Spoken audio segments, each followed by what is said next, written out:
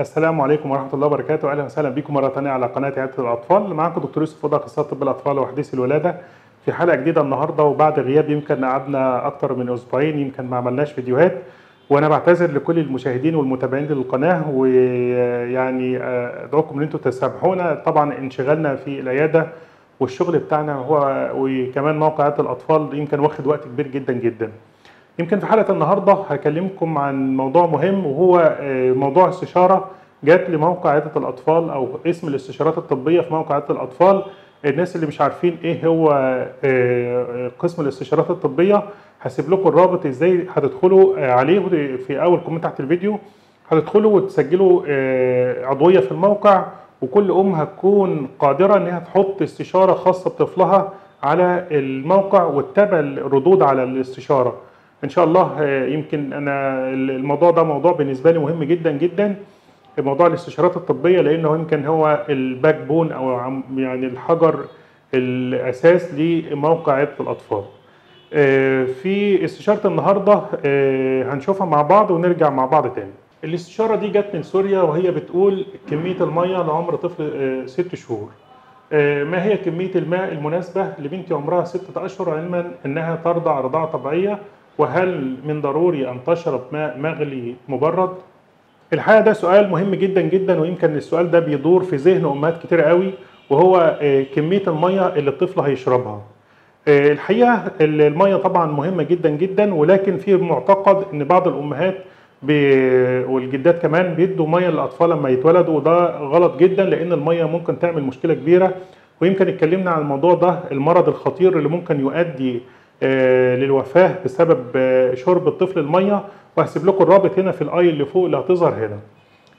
في استشارة النهارده اللي جاية من العزيزة سوريا الشقيقة يعني البلد الجميلة الحبيبة لكل مصر وكل الشعب المصري وهو إن كمية المية اللي الطفل لو الطفل عنده ست شهور يشرب كمية قد إيه. الحقيقة الأطفال إن هم أول ست شهور ما بيشربوش مية خالص ممكن ما نديلهمش مية خالص. يمكن أنا اتكلمت في حلقة قبل كده إن إحنا ممكن ندي من الرابع ولكن عادي ما فيش مشكلة. ولكن الصح إن إحنا ما بنديش مية للأطفال أول ست شهور لأن هو يعني غالبا هو الطفل بياخد كل المية اللي هو محتاجها من خلال الرضاعة الطبيعية فمش محتاج المية في حاجة لأن معظم أو يعني 99% من تركيبة اللبن أو الحليب بتاعة الأم هو عبارة عن مية. فيبقى الطفل أول ست شهور مش محتاج مية. لو الطفل من 6 ل 12 شهر بيحتاج في حوالي لو في الحدود الطبيعية يعني الجو كويس ومفيش حر والكلام ده بيحتاج من 60 ل 120 ملي من المية. دول ممكن ياخدهم على مدار اليوم. ممكن رشفات صغيرة أو بالببرونة لو هو بيشرب ببرونة أو أو حتى بالمعلقة كده ممكن نديله في حدود من 60 ل 120 ملي من المية. لو الجو حر شوية ممكن ندي من 160 ل 240 أو 180 ل 240 ملي من المية على مدار اليوم. لو الجو حر أو الطفل عنده إمساك ومفيش سوائل كتير في جسمه ولازم نلاحظ طبعا علامات الجفاف لو الطفل عطشان جامد بنلاقي البول بتاعه بيعلم في الحفاضة ويسيب لون لون أورنج شوية بحيث إن هو بيظهر بسبب البول المركز عند الأطفال. بعد كده بعد سنة الطفل ممكن بيشرب كميات على قد ما يقدر. ممكن يشرب حوالي 8 كوبايات مية في اليوم ويمكن ياخد أكتر من كده. وده المية طبعا مهمة جدا عشان بتساعد على الحيويه الحيوية والنشاط بتاع الجهاز الهضمي بتاع الطفل. وكمان طبعا بتروي الظمأ بتاعه والعطش بتاعه. بالنسبة طبعا الجو الحر والكلام ده لا أنصح مطلقا إن إحنا ندي الأطفال مياه غازية خالص خالص خالص. طبعا المياه الغازية انتشرت بطريقة صعبة جدا ولكن هي تأثيرها سيء جدا على الأطفال. يمكن في حلقتنا النهارده بس مركزين على كمية الميه وده السؤال الاستشارة اللي جات لنا من سوريا على موقع عياده الأطفال قسم الاستشارات الطبية. أتمنى تكون الحلقة مفيدة. أنتظركم كلكم كل واحدة يا ريت تعمل صفحة خاصة بيها على الموقع وتحط الاستشارات بتاعتها من خلال الموقع وتتابع كل ردود على الاستشارات.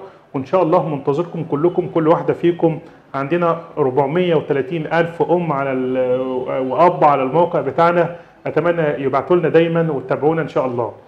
هسيب لكم آه، في أول comment تحت الفيديو الرابط بتاع الاستشارات الطبية وهسيب لكم كمان ال- الاستشارات كلها اللي وردت لغاية دلوقتي link صغير كده هتلاقوه برضو آه، خاص بالاستشارات الطبية. هتدخلي وتقراها على- تقري ال- الاستشارة. ممكن تكون الاستشارة دي مشكلة حضرتك مريتي بيها ومش عارفة الحل بتاعها فأنا مجاوب عليها بالتفصيل إن شاء الله. يا رب تكون آه، كل ال- ال- ال- المعلومات اللي واردة دي في ميزان حسناتنا كلنا وميزان حسنات كل الناس اللي تعمل مشاركة له لأن طبعا العلم ده علم زكاة العلم اللي هو تبليغه لازم إن إحنا لو في حاجة معلومة كويسة لو تقدروا توصلوها لكل الناس في الوطن العربي. أكون شاكر لكم كلكم. يا ريت آه، كل واحدة أم يمكن على الجزء بتاع الكوميونتي بطلب من كل أم إن هي آه، شافت الحلقة أو شافت آه، رابط معين أو موضوع معين إحنا نشرناه يا ريت تشاركوا مع خمسة بس من الأصدقاء. لو شاركت مع خمسة بس إن شاء الله الموضوع هينتشر وكل الأمهات هتعرف بالمعلومة. أتمنى أن تكون الحلقة مفيدة وتعجبكم وإن شاء الله نتقابل. واستشارات جديدة وموضوعات جديدة على موقع وقناة عياده الأطفال. تحياتي ليكم. كنت معاكم دكتور يوسف والسلام عليكم ورحمة الله وبركاته.